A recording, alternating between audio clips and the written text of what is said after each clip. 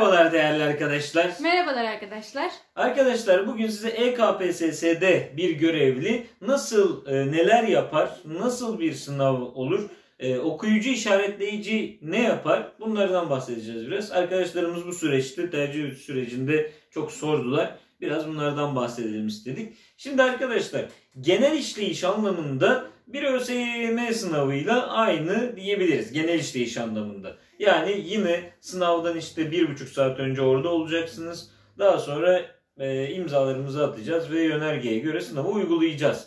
Peki hocam e, nasıl oluyor? Şimdi arkadaşlar bizim e, adayımız eğer talep ederse okuyucu işaretleyici veya sadece okuyucu veya sadece işaretleyici bu durumda tabii ki sınav salonunda bir kişi oluyor. Bir tane aday oluyor. Çünkü zaten iki tane aday olamaz. Bu sefer hangisi hangi soruyu yapacak? Ee, daha önce biz görev aldık böyle bir sınavda. ÖSYM'nin sınavında görev aldık üniversite sınavında. Fakat bu KPSS sınavı biliyorsunuz. EKPSS. Engellileri KPSS sınavı. Şimdi farklı farklı gruplarda engelli adaylarımız var arkadaşlar. İlk önce genel durumdan bahsedeyim. Şimdi diyelim ki okuyucu işaretleyici olarak görevlendirilmiş bir görevlisiniz. Ee, diyelim biz de öyleyiz. Şimdi bir adayın başında iki tane okuyucu işaretleyici görevlendirilmiş oluyor.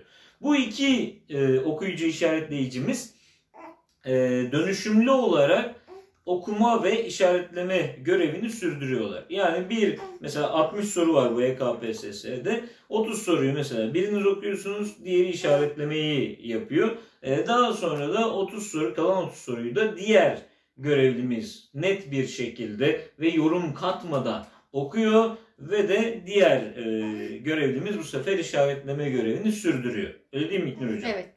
Evet teşekkür ederim güzel yorum için. Daha sonra e, Evet net ve yorum katmamaya dikkat edin arkadaşlar. Yani hani e, sorular orada ne yazıyorsa o. eyvah, arkadan da yorum geliyor bak. Evet orada ne yazıyorsa o arkadaşlar. Tabii ki etkilenebiliyorsunuz veya işte hani e, insan bakıyor oradaki adayımızın tabii e, zor durumları olabiliyor mesela. E, ama mutlaka e, tarafsız bir şekilde okuyarak görevimizi yapmamız gerekiyor arkadaşlar.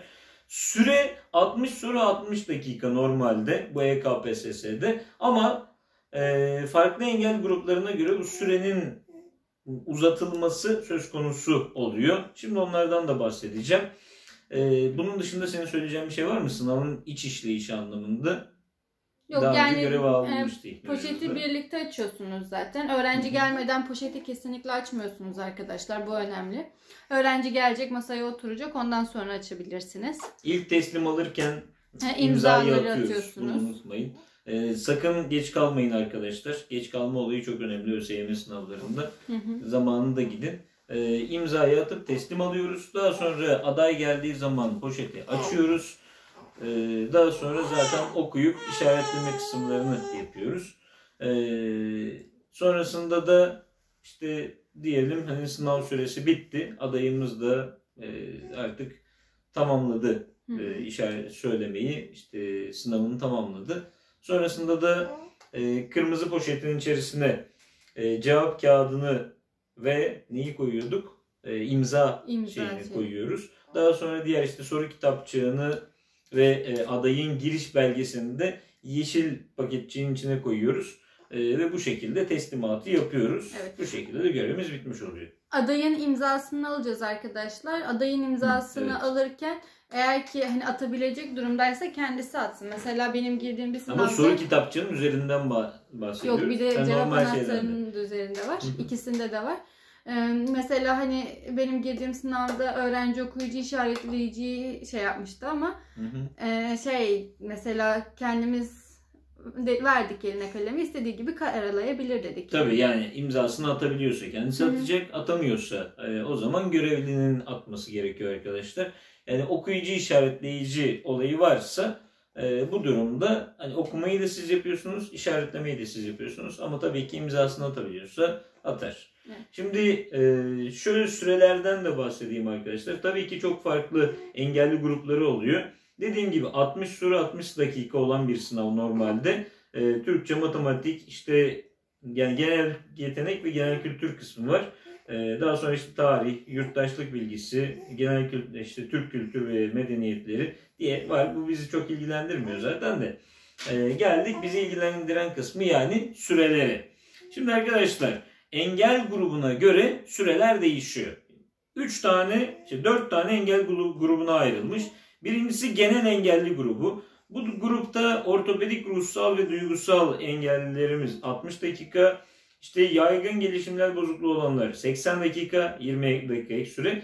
Okuyucu veya okuyucu işaretleyici yardımı alacak olanlar 100 dakika. Yani bizim gibi görevli varsa eğer okuyucu işaretleyici olan bu durumda 40 dakika ek süre veriliyor yani 100 dakika. İkinci grup görme engelli grubu. Bunda da gene okuyucu veya okuyucu işaretleyici yardımı alacak olanlar 100 dakika. Yani 40 dakika ek süresi var. Ee, bunun yanı sıra soruları kendileri okuyabilenler 60 dakika. Ee, soruları kendisi okuyabilecek durumda olan ancak işte e, belli bir raporun üzerinde olanlar 90 dakikaymış.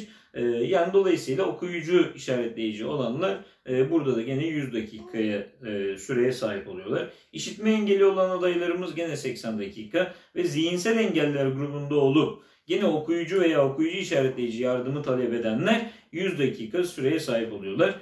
Ee, soruları kendisi okuyabilenler ise zihinsel engeller grubunda gene 80 dakika süreye sahip oluyorlar. Bu şekilde gruplar var arkadaşlar.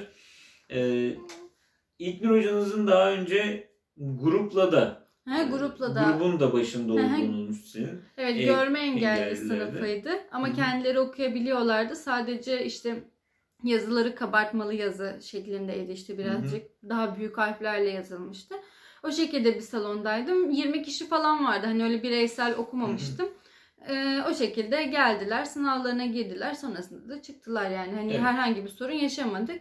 Bu okuyucu işaretleyici olarak da görev aldığım sınıf vardı. Orada tabii birazcık daha size yük daha fazla binmiş oluyor. Sonuçta sizin orada bütün soruları anlaşılır bir şekilde okumanız lazım. Bir de hani öğrencinin de anlayabilmesi lazım. Ee, hani belli bir sürede bir de Seninkinde bitirmeniz ek süre vardı değil mi? Ha vardı 30 dakika falan bir ek süre vardı. Mesela ben de görev almıştım. Benimkinde ek süre yoktu. Evet.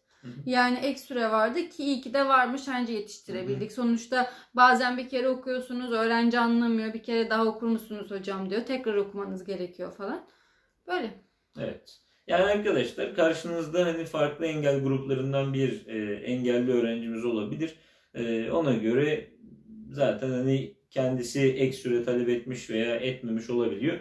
E, orada yazan şeye göre, yönergeye göre gene sınavınızı uyguluyorsunuz ve bu şekilde tamamlıyorsunuz. Herhangi bir sıkıntı yaşamazsınız arkadaşlar. Yani zaten ÖSYM sınavlarında yönerge bellidir. E, yani bir sıkıntı yaşayacağınızı düşünmüyorum. Ona göre içiniz rahat olsun. Ee, 60 tane soru var. Dönüşümlü olarak okuyacaksınız. işaretlemeyi yapacaksınız. Okuyucu işaretleyiciyseniz eğer. Ee, ve daha sonra sınavınızı tamamlayacaksınız. Evet. Ekleyeceğim bir şey var mı İknur Hocam? Kolay gelsin. Evet. e, Allah yardımcınız olsun. E, bu sınavın tabi ücreti biraz daha fazla oluyor. Normal e, diğer sınavlarımıza göre. E, ek süreleri olabiliyor dediğimiz gibi. E, bu şekilde arkadaşlar. Ha, sınava giderken mutlaka kimliğinizi yanınızda götürmeyi unutmayın. Sınava giriş belgenizi yanınızda götürmeyi unutmayın. Saat, maat, kolye, bilmem ne vesaire takı falan takmayın. Bunları götürmeyin arkadaşlar. Ee, bunlara dikkat ederseniz bir sıkıntı yaşamazsınız. Ama kimliğinizi mutlaka yanınıza alın. Kimlik olmayınca sınava giremiyorsunuz. Ee, sınavda görevli olamıyorsunuz yani. Evet. Bu tip şeylerde de karşılaştığımız oldu. Yani bu takılara falan da çok dikkat edin arkadaşlar. Ben bir kere böyle gitmiştim. Hı hı. Ee, koluma saat taktım gittim hiç aklıma da gelmedi yani hani sınav görevine gidiyorum. Dedim ki saati takayım da süreye bakmam falan kolay olsun diye düşündüm taktım. Sonra e, bina sorumlusu beni uyarmıştı hemen çıkarttım falan da hani siz böyle şeyler yapmayın. Evet arkadaşlar ben de öyle bir tane görevli görmüştüm. Ee, güneş gözlüklerini takmış, çantasını takmış koluna, saatler, küpeler, şeyler böyle gezmeye mi gidiyorsun dediler. Yani dikkat edin arkadaşlar. Çıkınca gideceğim. Olabildiğince kimlik, görevli belgesi ve işte otobüs kartınız yanınızda olur veya işte hani bir anahtar, arabanın anahtarı olur mesela. E, bunları bırakmak için zaten bize yer bırakıyorlar. E, oraya bırakıyorsunuz arkadaşlar. E, çantayla gelenlere de işte belli bir yere ayrılıyor görevliler için de. Ama hani mümkün olabildiğince falan hani öyle herhangi bir şey getirmezseniz sizin için daha iyi olur, daha rahat olur. Evet, teşekkür ediyoruz arkadaşlar bizleri takip ettiğiniz, dinlediğiniz için. Görüşmek üzere arkadaşlar. Kendinize iyi bakın. Bay bay. Görüşmek üzere.